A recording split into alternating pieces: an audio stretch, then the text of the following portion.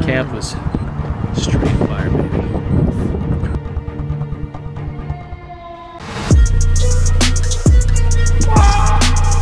Nice and easy again. The throwing chain reaction system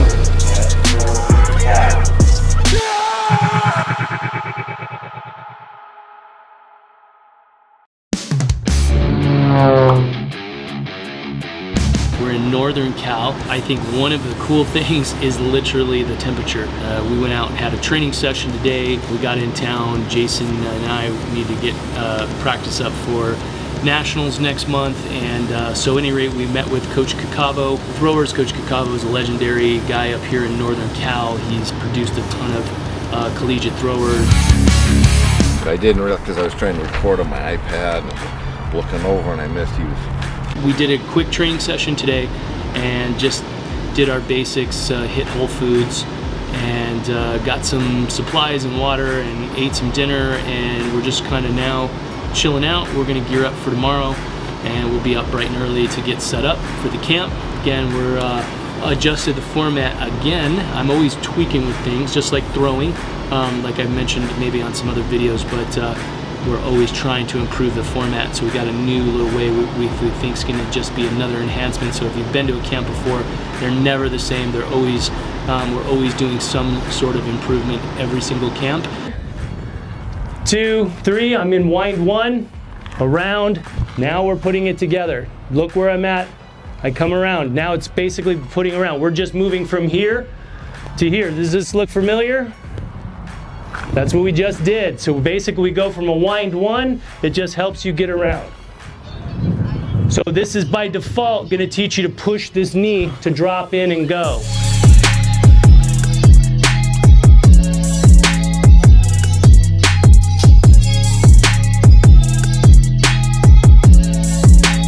It's very helpful and it mostly helps you with more of a technique if you've already thrown before and then if it's your first time then this would really help you. I like it a lot because it gives you an opportunity to keep looking and slowing it down and stopping it and frame by frame to see what the exact technique is so you can go really slow.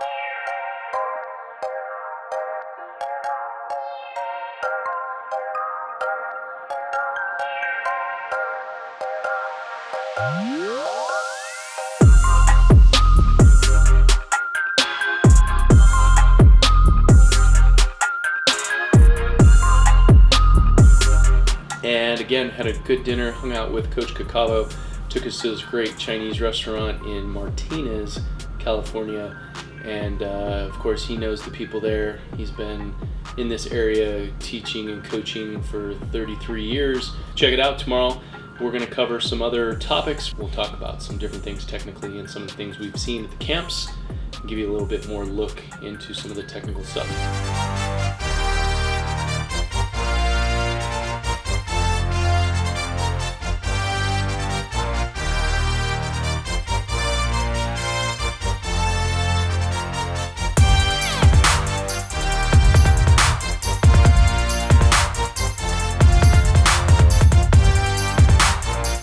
Throw is a chain reaction.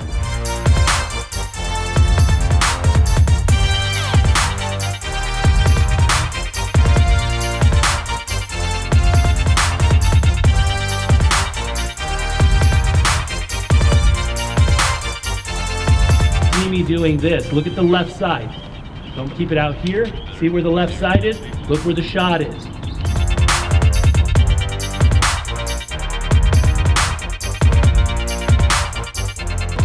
Start in the middle of the ring and stretch to the toe board. Don't start at the front of the toe board and step in. That's my recommendation. You don't have to do that, but this is why I recommend that.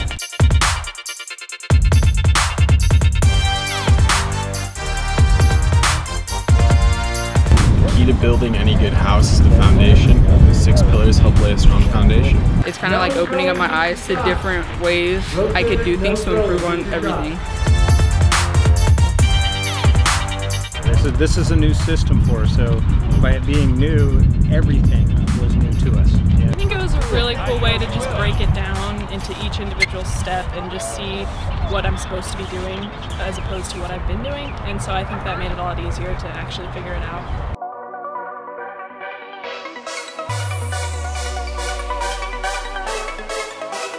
Five camps down, five to go. We did this last year, and by five camps, I was absolutely smashed. I don't really feel that bad.